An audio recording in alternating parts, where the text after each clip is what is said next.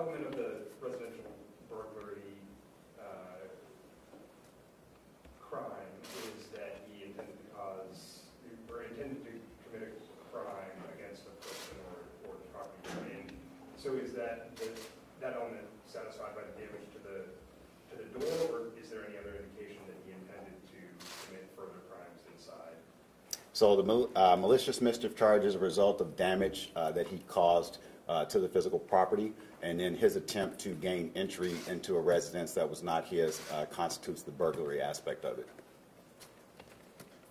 Do you know what kind of damage it was? I do not. Do you know what his motive was? I do not. But you're certain he was trying to get inside? Uh, Yes, I am. Were, were there injuries to any other people? You, you mentioned Richard and a uh, policeman having injuries, injuries to anybody else involved? Uh, No, just Mr. Sherman and the officers involved in the altercation uh, sustained minor injuries. Was he able to actually gain entry to the house at any point, breach the door? Uh, He did not gain entry into the residence. Your 911 dispatchers, I trust, stayed on the phone with the people inside. Did they identify Mr. Sherman at the time was trying to get into the house? Uh, He was uh, identified uh, in the call, yes. Can you be more specific about the family relationship? Uh, As I understand it, uh, the, these are the ex-in-laws uh, of Mr. Sherman.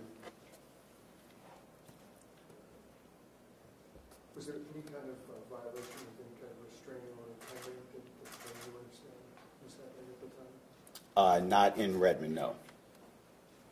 How much time Does between that mean first that there contact? a restraining order or a protection order of some kind filed somewhere else? Uh, I believe that there, there may be uh, an emergency uh, protective order uh, in place.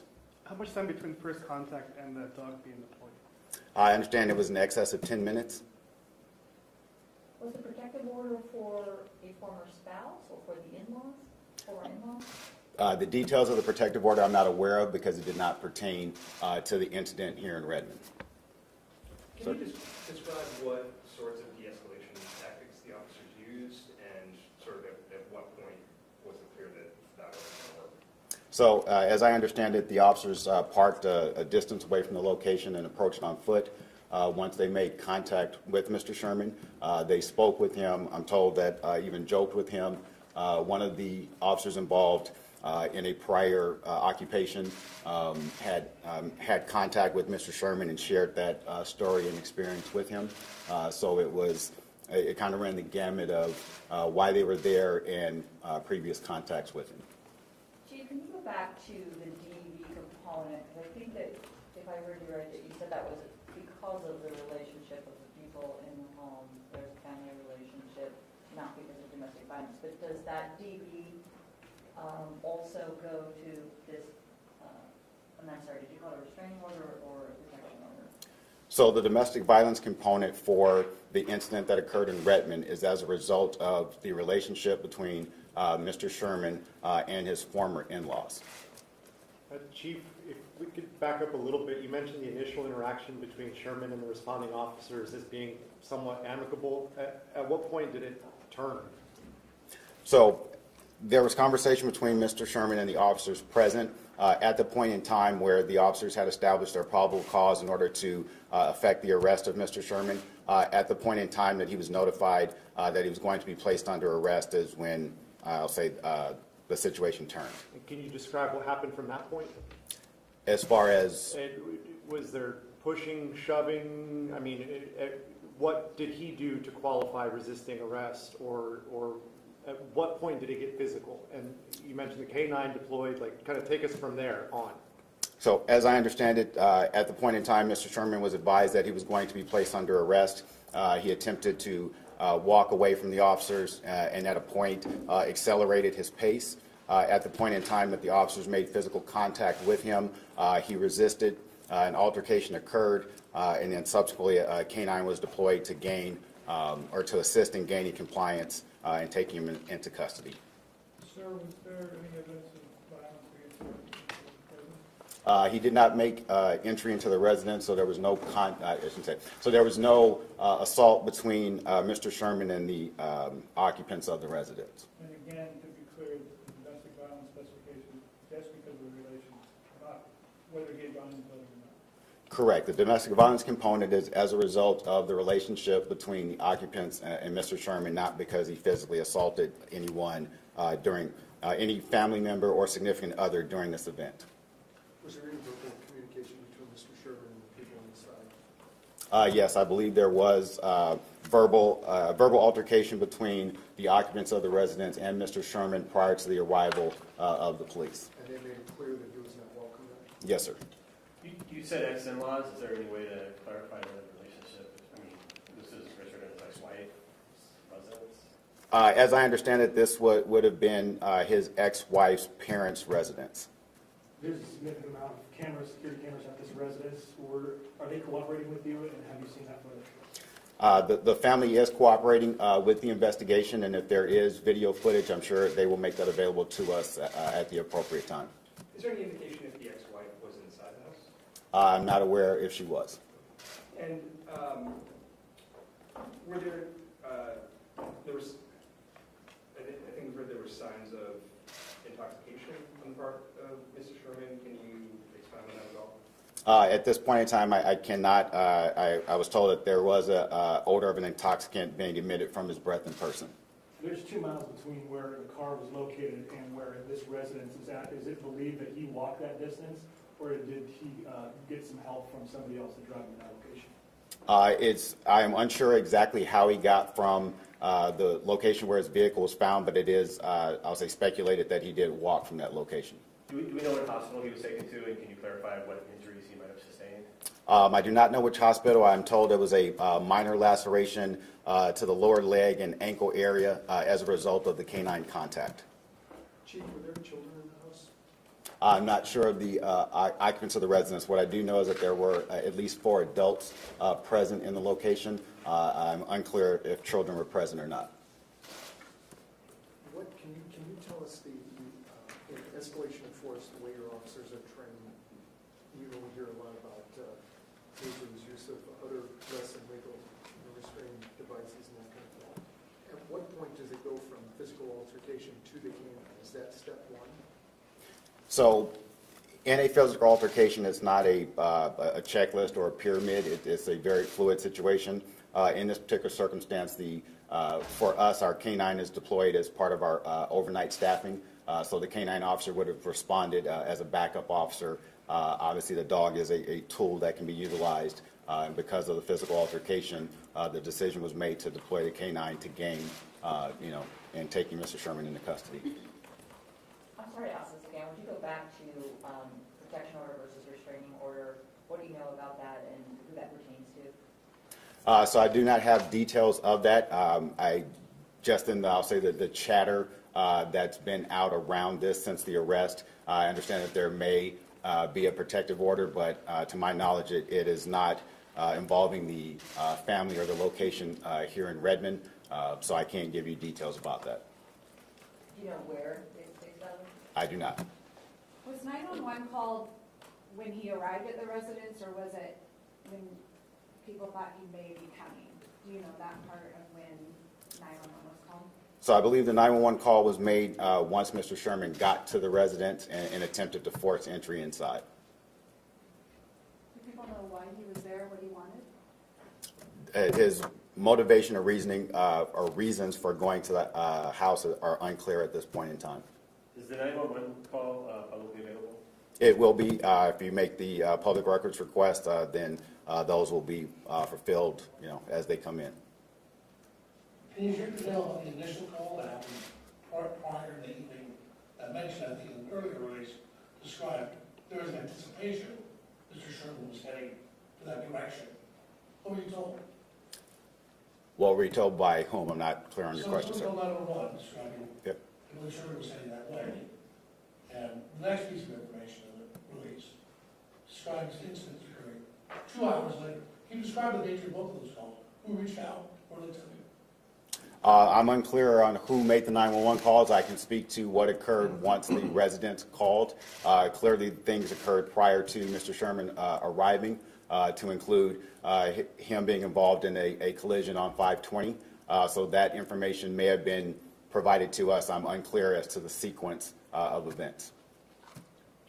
You mentioned one of the officers um, in a prior line of work had, or before he was an officer, had some, uh, before he or she was an officer, had some um, interaction with, with Sherman. Do you have any more details? Do you know anything more about that? So as I understand it, it was actually one of the uh, troopers that was on scene in a, uh, in a previous um, job. He was a valet and had contact with Mr. Sherman in, in that context. Can we hear from State Patrol with regard to how this began? Absolutely.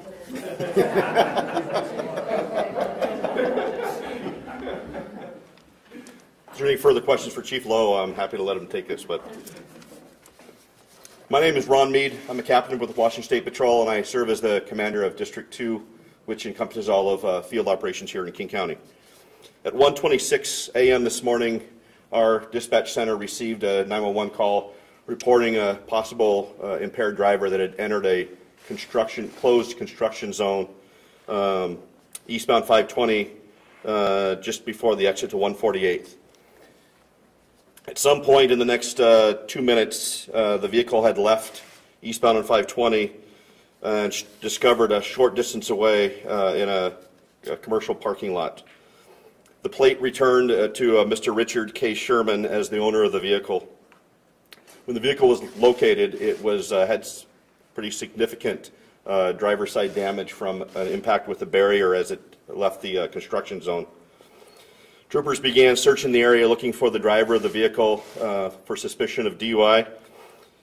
And at some point, were uh, redirected to a address in Redmond, and later later learned Redmond PD was in the process of looking for uh, Mr. Sherman for an unrelated event. Troopers assisted the Redmond Police Department with the arrest of um, Mr. Sherman at the residence, following extensive de-escalation and uh, uh, tactics that were employed leading up to the arrest. Subsequent to Mr. Sherman's arrest, the Washington Patrol troopers involved uh, applied for and obtained a search warrant uh, and conducted a legal blood draw. Those results are pending. And uh, Mr. Sherman remained in the custody of the Redmond Police Department, uh, where he was booked into jail on the Redmond charges, and the uh, misdemeanor charges of DUI uh, and hit and run will be referred. Any questions? Can you be more specific about the damage to the vehicle? At one point, I think we heard that four of the tires, but there was. Yeah, my understanding is that the left side of the driver's side of the vehicle had pretty extensive damage. One of the vehicle, one of the tires um, sustained uh, nearly completely uh, separated. And uh, the vehicle was operated until it literally couldn't operate any longer. And uh, that's when it was located in a parking lot about a half mile from the scene. Um, And uh, it was from there that the troopers started locating, or trying to locate the driver. And just to be clear, I think you mentioned the construction zone, um, was this on five twenty? Yeah, the construction zone in question was on 520. Um, So I, my understanding is there was a lane, a closed lane that was, a lane that was closed off, restricted to vehicular traffic for construction. Somehow the vehicle entered that lane and was contacted by one of the construction crew members, subcontractor for the State Department of Transportation. Um, They identified uh, the driver, um, believed that he was impaired, and then subsequently called 911 to report that the vehicle had left. And it was that, one of those crew members that actually located the vehicle a short distance away, subsequently called 911 to report the vehicle's current location, and the troopers responded to that. There was about a 10-minute gap from the original report until the troopers first arrived uh, with the vehicle. I mean, in that time period is when the driver was no longer at the vehicle. What is that vehicle? Are you releasing the make and model of the vehicle? I don't have that, um, not a matter of not releasing, I don't have it. Um, there a question over here? You know, it was eastbound, but the damage was on the driver's side, of the door, is that right? Correct. What did he hit? He hit a barrier, uh, one, it sounds like he hit uh, some type of a barrier uh, as he was leaving the construction zone. But whether it was a piece of construction barrier or just a Jersey barrier, I don't have that. Can you clarify what led to the suspicion of possible impairment? Well, th- th- that was reported, uh, I mean, I I assume simply the observations of the um, civilian person that um, noted that, but when he called 911, he reported it as somebody that he believed to be impaired. And I think largely it was because of the the observations and how he gets into a closed construction zone. We're very fortunate. I mean, you know, these crews are out working at night at great risk them, to themselves.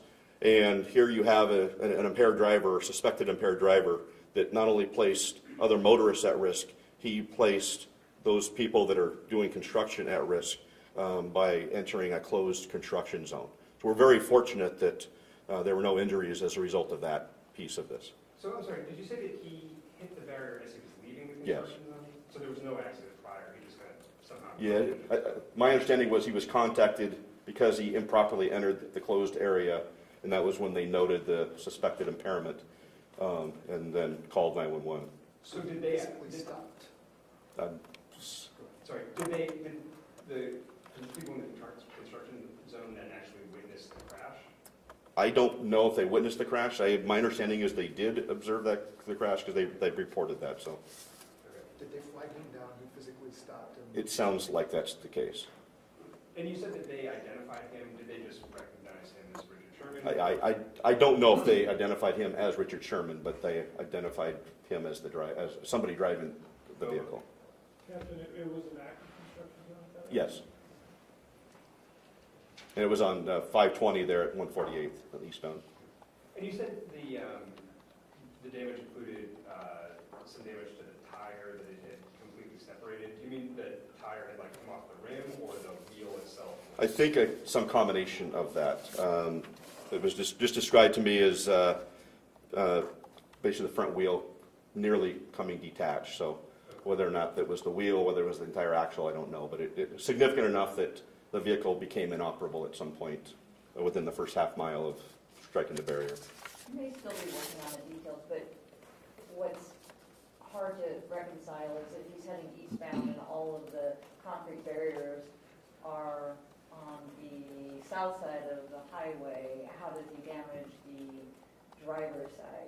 Well, of the, as you take the exit though, the barriers, I, I don't, I'm not intimately familiar with this particular exit, but as you take the exit, it's, I would assume that the vehicle contacts a barrier on the left-hand side, or it, or the, as I mentioned before, it could well be some se- piece of construction equipment that was in the construction zone. Um, At, at, at any rate, we know that he had some contact with something significant enough to cause major damage to an SUV, uh, and ultimately take the tire off. Do you know what kind of SUV it was? I don't have that. Is there a body camera from either agency? No. So we do have Coban video, however, however, I add, the vehicles, Coban is a system that's in cars. The cars were some distance away. Whether or not um, they picked up the audio portion of this, um, we haven't reviewed the uploads yet, um, but we won't have video of it because the vehicles weren't in close proximity to where the arrest occurred. Do you have any more details about the protection order No. or whether one existed? No. And just to clarify, was the first 911 call that started this whole thing made by a member of the construction crew to alert you? Yes, it, the first call came in at 126, and it was a worker within the construction zone that alerted us to the existence of a potentially impaired driver um, on 520. Can either of you clarify, so he is in jail at the moment, what happens next now with him?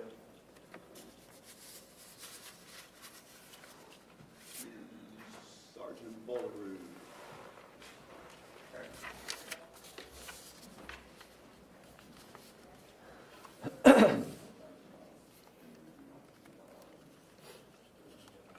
Uh, While you're up there, uh, has the vehicle been impounded? Has it- a warrant been searched, um, uh, uh, you know, put out for, is he searches anything in the vehicle uh, suspicious?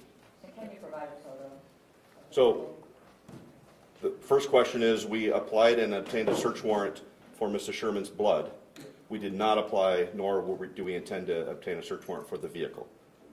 And I'm sorry, the Is it possible to get a photograph of the vehicle? I don't know if we have one, but if we do, we will certainly uh, make that available through a public disclosure request, so, Was the, was the vehicle impounded? yes. Is it here in Redmond or with you at Washington State Patrol? It's, uh, it was not, it it was impounded just to a local tow company. Chief Lowe, you mentioned accident laws. We covered team buttons, Mary, Mary. His wife just tweeted that they're still married. Okay. Um, So, uh, so point of clarification, uh, then, uh, in-laws, we can remove the, uh, X, uh, title. So, uh, as you guys know, this is a, uh, active and ongoing investigation, so details will, uh, continue to evolve. uh, as the day goes on. The question I was asked to come back and address was, um, yes, as, as my understanding, he is still in jail, given the fact that it, there is a domestic violence component uh, to what he was charged for. Uh, He would have to see a judge before bail is set, and then at that point in time, he would have the right to make bail, uh, just like anyone else would. What would you say um, to this? The, the mother-in-law um, has said that Richard is welcome to the home, that this is a misunderstanding. Um, Is there any misunderstanding that you're aware of? At this point in time, no, but as I said, uh, this, the investigation is ongoing, so uh, things uh, can and oftentimes do change. Uh, So if for some reason uh, it changes, then that information will need to be provided to the prosecutor's office, and then they can decide accordingly, um, you know, how this uh, case moves on. Who was, what do your officers describe as, uh, I stood here at the home, um, and I remember, was he, did he appear intoxicated? Was he immediately confrontational? Could you repeat that, so that it's- Okay, so I don't know if he was i- immediately confrontational. We received a 911 call from the uh, occupants of the residence indicating that he was trying to forcibly uh, make his way inside of the residence. Uh, I'm told that uh, at a point in time when they made contact with Mr. Sherman, that there was a uh, amicable conversation that occurred, and it is my understanding that uh, things were no longer amicable when he was advised that he was going to be taken into custody. And that occurred some 10 minutes after initial contact was made with Mr. Sherman. Why was it told he was being taken into custody? In relation to the uh, on five twenty? So, as I understand it, that the officers developed uh, probable cause to take him into custody for the charges uh, that he was booked for. And with that, I'll take one more question. Did he indicate why he was there? Did he, did he try to explain to you what he was doing and uh, when they were trying to effect the arrest? Uh, I'm not aware that uh, Mr. uh, Sherman made any statements uh, uh, to the officers that arrested him. We got a history calls in this nature. that- But Thank you very much. Thank you, Sorry,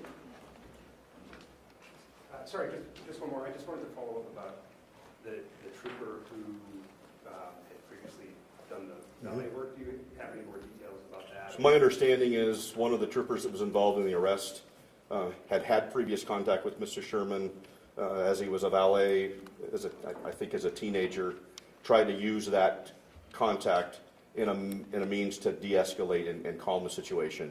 That seemed to be effective. Um, my understanding is that the volatility of Mr. Sherman was up and down, but generally, as they tried to de-escalate and calm the situation down, um, that was one of the techniques that was utilized to, to make some sort of a connection or a bond um, between the officers that were present and uh, Mr. Sherman. And may, maybe this might be, uh, I'm sorry, was it an officer that was slightly injured? Was that the canine or an actual human officer? I know you, it gets referred to as officer, you know, an officer. So my understanding is, I had one trooper that suffered minor injuries during the arrest. My understanding was one Redmond officer suffered some minor injuries during the arrest. Mr. Sherman suffered some minor injuries uh, from the canine uh, during the arrest. Can you specify what the injuries to the officer were? The s- scrapes, minor. Would it have been- None, none required medical treatment. but Would it have been Mr. Sherman's first option to uh, submit to a breathalyzer? Did he refuse that? Is that what? He was being treated at the medical facility, so because of the inaccessibility to a breathalyzer or a data or a- an instrument, then we apply for a search warrant and just do a blood draw at the hospital, simply for the ease of everybody in- involved and, and time, because this is a, impairment is a fleeting evidence, so the sooner we can collect that, that evidence, the the better, more reliable it is in court. And how long typically, I know toxo screens take a long time. Would this one be expedited or how long? This, this, this arrest, from our perspective, and I think safe to say from Redmond's perspective, is being treated no differently because of the high-profile nature of the involvement. There will be no expediting of the blood results because of his status. Um, the process will play out as it does for everybody else. I mean, it's just an unfortunate set of circumstances that he's associated with it, but this is, relatively speaking, uh, an unfortunate everyday occurrence with somebody driving impaired, making poor choices to drive in the first place, and then uh, finding them in the situation that they're in. So um, I, I just want to be very cautious that, well, I understand that it's high profile, I understand that a lot of media interest. Um, these type of arrests occur sadly every single night. The fortunate part about this arrest, nobody was seriously injured nobody was injured at all because of the driving issues, and nobody was seriously injured as a result of the arrest. You think how he So one more question. Accident, oh, Pardon me? you tell you how he got, the crash site, the house? No, I don't, I don't have that information. Captain, do you mind just um, weighing in again on, your troopers felt that they had to get involved in terms of trying to affect the arrest, sort of um, describing that scene for me in terms of Mr. Sherman's reaction to the initiation of the arrest? Well, I, I guess I don't understand the question. I think initially that you had said that when they tried to arrest him, he um, resisted arrest and that your troopers needed to, to jump in to help as well. So if you could just sort of describe So that. we had four troopers present. One of them assisted in the effecting of the arrest. Um, As, as he was walking away from the officers, uh, he walked towards the troopers, and one trooper uh, did take him to the ground, um, suffered no injuries as a result of that takedown, but he was taken to the ground. Was it the same trooper that had the report with them? that- I don't have that. Was it the same trooper that got involved with the arrest that had the report with him when he, he was in Yes. LA? Yes. Thank you, everybody.